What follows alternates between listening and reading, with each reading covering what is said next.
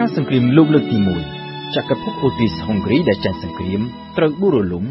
ហើយបែកខ្ញែកទៅជាប្រទេសផ្សេងផ្សេងគ្នាក្នុងនោះក៏រួមមានផងដែរប្រទេសអូទ្រីសនិងជេកូស្លូវ៉ាគីដែលមានប្រជាជនយ៉ាងច្រើនមានដើមកំណើតអាល្លឺម៉ង់នៅជេកូស្លូវ៉ាគីប្រជាជនដើមកំណើតអាល្លឺម៉ង់ភាគច្រើនរស់នៅក្នុងតំបន់ស៊ូដែនគឺប្រទេសជេកូស្លូវ៉ាគីនិងអូទ្រីសនេះហើយដែលជាចំណុចស៊ីបនៃនយោបាយវិទីនិយមរបស់ហ៊ីតលែ នៅចុងឆ្នាំ1937ហ៊ីតលែបានដាក់ចេញនូវផែនការជា3ដំណាក់កាលដើម្បីវាទីពង្រីកទឹកដីទៅទិសខាងកើតគឺដំបូងចូលឈ្លានពានអូទ្រីសដែលជាប្រទេសកំណើតផ្ទាល់របស់ហ៊ីតលែបន្តមកទៀតឈ្លានពានជេកូស្លូវ៉ាគីហើយដំណាក់កាលទី3ចូលឈ្លានពានប្រទេសប៉ូឡូញមុននឹងចាប់ផ្ដើមអនុវត្តផែនការនេះហ៊ីតលែបានរៀបចំចរចាចុះសន្ធិសញ្ញាចងសម្ព័ន្ធមិត្តជាមួយនឹងអ៊ីតាលីដែលនៅពេលនោះគឺជាខ្នងបង្អែករបស់អូទ្រីស នៅខែវិច្ឆិកាឆ្នាំ1937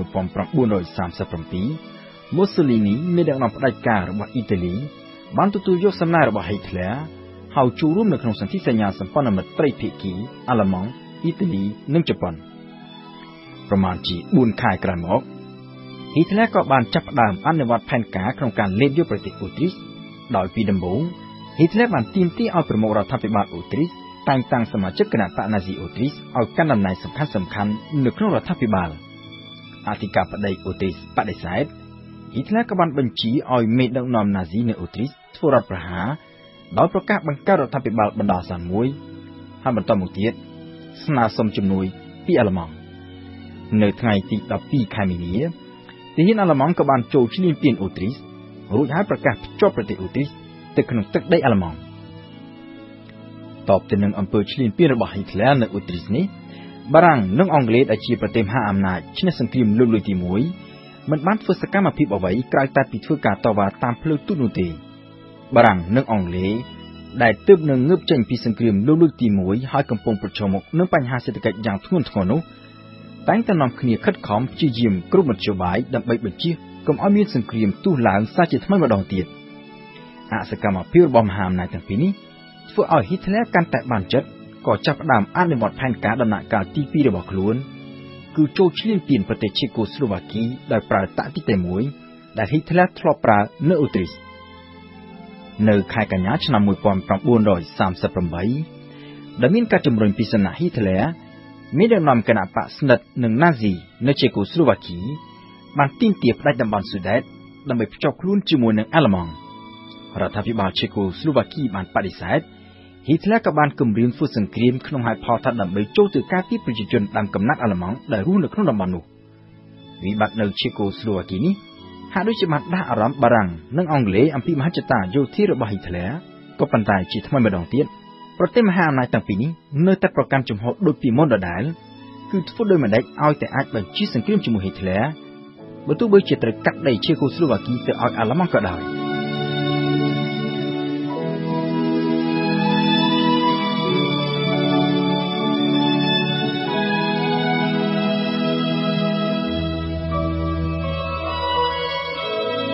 នៅខែកញ្ញាឆ្នាំ1938អ៊ីតាលីបានប្រកាសដាក់អសន្នវិត្រឹមខែតុលា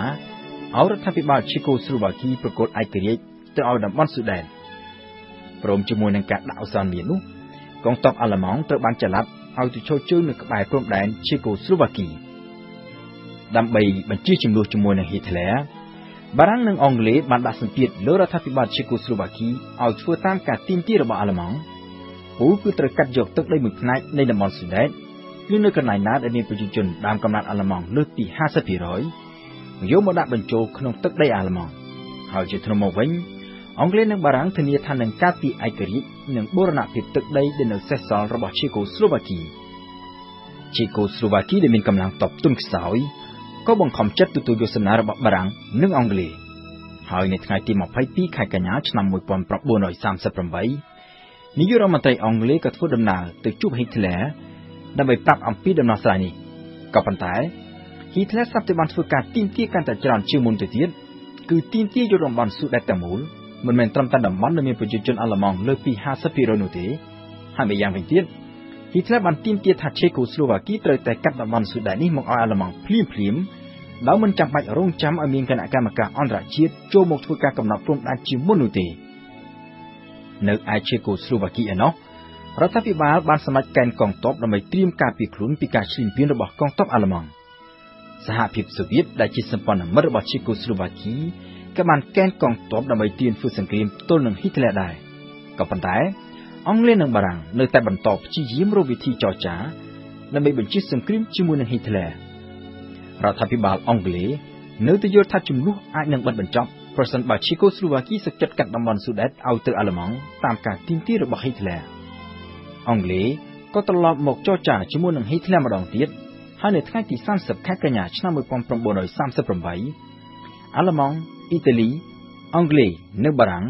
ក៏បានចុះកិច្ចព្រមព្រៀងមួយនៅទីក្រុងមីនិចដោយគ្មានវត្តមានឈីកូស្លូវ៉ាគីដែលបានព្រមព្រៀងឲ្យអាល្លឺម៉ង់ចូលកាន់កាប់តំបន់ស៊ូដេតជាធ្នូមកវិញ ហ៊ីក្លាបានសន្យាថានឹងបញ្ឈប់ការទាមទារផ្ដាច់ទឹកដីរបស់ខ្លួនតែត្រឹមតំបន់ស៊ូដេតមួយនេះបន្តមកបារាំងនិងអង់គ្លេសបានប្រាប់ទៅឈីកូស្លូវ៉ាគីអំពីអ្វីដែលគេបានព្រមព្រៀងជាមួយនឹងហ៊ីតឡែរនៅមីនិចដោយបានបញ្ជាក់ថាប្រសិនបើឈេកូស្លូវ៉ាគីមិនព្រមប្រគល់តំបន់ស៊ូដេតឲ្យទៅហ៊ីតឡែរទេនោះឈេកូស្លូវ៉ាគីនឹងត្រូវប្រជុំមុខជាមួយនឹងកងទ័ពអាល្លឺម៉ង់តែម្នាក់ឯងដោយគ្មានជំនួយពីអង់គ្លេសនិងបារាំងនោះទេជេកូស្លូវ៉ាគីដែលដឹងច្បាស់ ថាខ្លួនមិនមានកម្លាំងទ័ពអាចទប់ទល់នឹងហ៊ីតឡែរបានក៏សុខចិត្តធ្វើតាមហើយកងទ័ពអាល្លឺម៉ង់ក៏បានចូលកាន់កាប់តំបន់ស៊ូដេតនៅថ្ងៃទី10ខែតុលាឆ្នាំ1938នៅអង់គ្លេសលោក Neville Chamberlain នាយករដ្ឋមន្ត្រីអង់គ្លេសត្រូវបានគេចាត់ទុកថាជាវីរបុរសដ៏ឆ្នើមមួយដែលបានដោះស្រាយបញ្ចប់វិបត្តិជាគូស្លូវ៉ាគីដោយសន្តិវិធីហើយបញ្ជាបាននៅសង្គ្រាមក៏ប៉ុន្តែនៅអាល្លឺម៉ង់វិញ ហ៊ីតឡែរបានកំណត់ក្នុងចិត្តថាសម្បត្តិគ្រប់យ៉ាងដែលអង់គ្លេសនិងបារាំងបានធ្វើនៅក្នុងវិបត្តិជេកូស្លូវ៉ាគីវាគឺជាការបញ្ជាក់យ៉ាងច្បាស់ថាអង់គ្លេសនិងបារាំងកំពុងតែខ្លាចអាល្លឺម៉ង់ក្រោយមកមិនដល់មួយឆ្នាំផងនៅខែមីនាឆ្នាំ1939ហ៊ីតឡែរក៏បានចូលឈ្លានពានកាន់កាប់ទឹកដីដែលនៅសេសសល់របស់ជេកូស្លូវ៉ាគីព្រមទាំងទាមទារយកទឹកដីរបស់ប្រទេសផ្សេងៗទៀតនៅក្នុងតំបន់ក្បែរៗនោះរហូតមកទល់ពេលនោះ ទើបអង់គ្លេសនិងបារាំងភ្ញាក់ដឹងខ្លួនថាអ្វីដែលហ៊ីតឡែរបានសន្យានៅទីក្រុងមូនីកកាលពីឆ្នាំមុនវាគឺជាការបោកប្រាស់សុទ្ធសាធហើយពួកគេសម្រេចថាចាប់ពីពេលនេះទៅពួកគេនឹងលែងធ្វើសម្បទានដើម្បីផ្គប់ចិត្តហ៊ីតឡែរដូចពីមុនទៀតហើយនៅថ្ងៃទី31ខែមីនាឆ្នាំ1939ក្រោយពីហ៊ីតឡែរបានទាមទារផ្ដាច់ទឹកដីមួយផ្នែករបស់ប៉ូឡូញបារាំងនិងអង់គ្លេសក៏បានប្រកាសជាសាធារណៈ ថាពួកគេនឹងធានាការពីឯករាជ្យនិងបូរណភាពទឹកដីរបស់ប៉ូឡូញពីការឈ្លានពានរបស់ហ៊ីតឡែរក៏ប៉ុន្តែការប្រកាសនេះមិនបានធ្វើឲ្យហ៊ីតឡែរខ្លាយរអានោះទេហ៊ីតឡែរដែលធ្លាប់មើលឃើញពីចំហទុនជ្រាយរបស់បារាំងនិងអង់គ្លេសកាលពីអំឡុងវិបត្តិនៅជេកូស្លូវ៉ាគីក៏បានចូលឈ្លានពានប្រទេសប៉ូឡូញនៅថ្ងៃទី1ខែកញ្ញាឆ្នាំ1939ពីរថ្ងៃក្រោយមកបារាំងនិងអង់គ្លេសបានប្រកាសសង្គ្រាមលើអាល្លឺម៉ង់ ហើយសង្គ្រាមលោកលោកទី2ក៏ចាប់ផ្ទុះឡើងនៅពេលនោះ